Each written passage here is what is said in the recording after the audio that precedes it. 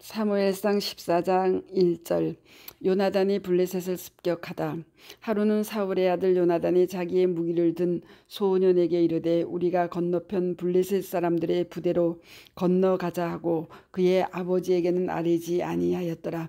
사울이 기부와 변들이 미그론에 있는 석류나무 아래에 머물렀고 함께한 백성은 600명가량이며 아이야는 에봇을 입고 거기 있었으니 그는 이가봇의 형제 아이두비의 아들이요 비니아스의 손자요 실로에서 여호와의 제사장이 되었던 엘리의 중선이었더라. 백성은 요나단이 간주를 알지 못하니라.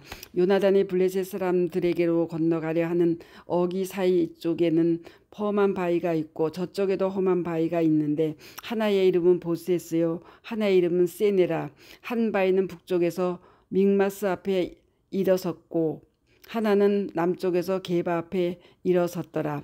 요나단이 자기의 무기를 든 소년에게 이르되 우리가 이 할례 받지 않은 자들에게로 건너가자. 여호와께서 우리를 위하여 일하실까 하노라. 여호와의 구원은 사람이 많고 적음에 달리지 아니하였느니라. 무기를 든 자가 그에게 이르되 당신의 마음에 있는 대로 다 행하여 앞서가소서 내가 당신과 마음을 같이하여 따르리이다. 요나단이 이르되 보라 우리가 그 사람들에게로 건너가서 그들에게 보이리니 그들이 만일 우리에게 이르기를 우리가 너희에게로 가기를 기다리라 하면 우리는 우리가 있는 곳에 가만히 서서 그들에게로 올라가지 말 것이요. 그들이 만일 말하기를 우리에게로 올라오라 하면 우리가 올라갈 것은 여호와께서 그들을 우리 손에 넘기셨음이니 이것이 우리에게 표종이 되리라 하고 둘이 다 블레셋 사람들에게 보임에 블레셋 사람이 이르되 보라 히브리 사람이 그들이 숨었던 구멍에서 나온다 하고 그 부대 사람들이 요나단과 그의 무기를 든 자에게 이르되 우리에게로 올라오라. 너희에게 보여줄 것이 있느니라 한지라. 요나단이 자기의 무기를 든 자에게 이르되 나를 따라 올라오라. 여호와께서 그들을 이스라엘 의 손에 넘기셨느니라 하고 요나단이 손발로 기어 올라갔고 그 무기를 든 자도 따랐더라. 블레셋 사람들이 요나단 앞에서 엎드려짐에 무기를 든 자가 따라가며 죽었으니 요나단과 그 무기를 든 자가 반나절 같이 땅 안에서 처음으로 쳐 죽인 자가 20명가량이라 들에 있는 진영과 모든 백성들이 공포에 떨었고 부대와 노략군들도 떨었으며 땅도 진동하였으니 이는 큰 떨림이었더라. 블레셋 군인들이 칼로 서로를 치다. 베냐민 기부하에 있는 사울의 파수꾼이 바라본즉 허다한 블레셋 사람들이 무너져 이리저리 흩어지더라. 사울이 자기와 함께한 백성에게 이르되 우리에게서 누가 나갔는지 점호하여 보라. 하여 점호한즉 요나단과 그의 무기를 든 자가 없어졌더라. 사울이 아히야에게 이르되 하나님의 교회를 이리로 가져오라 하니 그때에 하나님의 교회가 이스라엘 자손과 함께 있음이니라. 사울이 제사장에게 말할 때에 블레셋 사람들이 진영에 소동이 점점 더한지라 사울이 제사장에게 이르되 네 손을 거두라 하고 사울과 그와 함께한 모든 백성이 모여 전장에 가서 본즉 블레셋 사람들이 각각 칼로 자기의 동무들을 침으로 크게 혼란하였더라. 전에 블레셋 사람들과 함께하던 히브리 사람이 사방에서 블레셋 사람들과 함께 진영에 들어왔더니 그들이 돌이켜 사울과 요나담과 함께 한 이스라엘 사람들과 합하였고 에브라임 산지에 숨었던 이스라엘 모든 사람도 블레셋 사람들이 도망함을 듣고 싸우러 나와서 그들을 추격하였더라. 여호와께서 그날에 이스라엘을 구원하심으로 전쟁이 베단ዌ는 지나니라. 사울의 맹세와 요나단의 실수 이날에 이스라엘 백성들이 피곤하였으니 이는 사울이 백성에게 맹세시켜 경계하여 이르기를 저녁 곧 내가 내 원수에게 보복하는 때까지 아무 음식물이든지 먹는 사람은 저주를 받을지어다 하였습니다. 그러므로 모든 백성이 음식물을 맛보지 못하고 그들이 다 수풀에 들어간 즉 땅에 꿀이 있더라. 백성이 수풀로 들어갈 때에 꿀이 흐르는 것을 보고도 그들이 맹세를 두려워하여 손을 그 입에 대는 자가 없었으나 요나단은 그의 아버지가 백성에게 맹세하여 명령할 때에 듣지 못하였으므로 손에 가진 지팡이 끝을 내밀어 벌집에 꿀을 찢고 그의 손을 돌려 입에 댐에 눈이 밝아졌더라.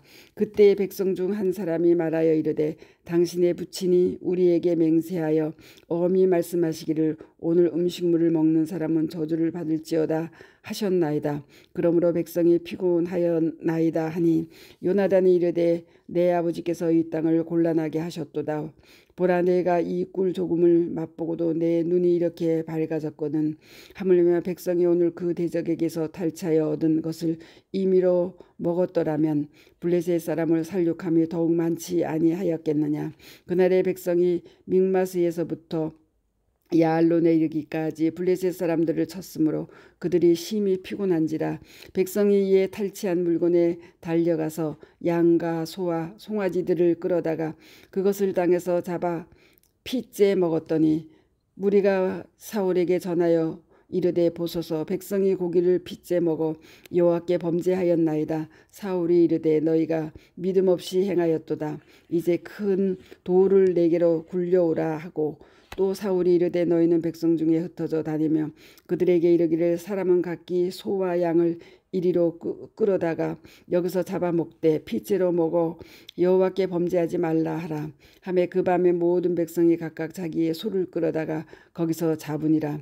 사울이 여호와를 위하여 재단을 쌓았으니 이는 그가 여호와를 위하여 처음 쌓은 재단이었더라. 사울이 이르되 우리가 밤에 블레셋 사람들을 추격하여 동틀 때까지 그들 중에서 탈취하고 한 사람도 남기지 말자. 우리가 이르되 왕의 생각에 좋은 대로 하소서 할 때에 제사장이 이르되 이리로 와서 하나님께로 나아가사이다 하매 사울이 하나님께 묻자오되 내가 블레셋 사람들을 추격하리이까?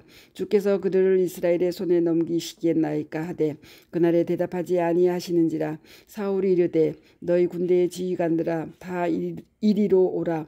오늘 이 죄가 누구에게 있나 알아보자. 이스라엘을 구원하신 여호와께서 살아계심을 두고 맹세하노니 내 아들 요나단에게 있다 할지라도 반드시 죽으리라. 하되 모든 백성 중 한 사람도 대답하지 아니하며 이에 그가 온 이스라엘에게 이르되 너희는 저쪽에 있으라. 나와 내 아들 요나단은 이쪽에 있, 으리라. 백성이 사울에게 말하되 왕의 생각에 좋은 대로 하소서 하니라. 이에 사울이 이스라엘의 하나님 여호와께 아뢰되 원하건대 실상을 보이소서 하였더니 요나단과 사울이 뽑혔고 백성은 면한지라. 사울이 이르된 나와 내 아들 요나단 사이에 뽑으라 하였더니 요나단이 뽑히니라. 사울이 요나단에게 이르되 네가 행한 것을 내게 말하라. 요나단이 말하여 이르되 내가 다만 내 손에 가진 지팡이 끝으로 꿀을 조금 맛보았을 뿐이오나 내가 죽을 수밖에 없나이다. 사울이 이르되 요나단아 네가 반드시 죽으리라. 그렇지 않으면 하나님이 내게 벌을 내리시고 또 내리시기를 원하노라 하니 백성이 사울에게 말하되 이스라엘의 이 큰 구원을 이룬 요나단이 죽겠나이까? 결단코 그렇지 아니하니이다.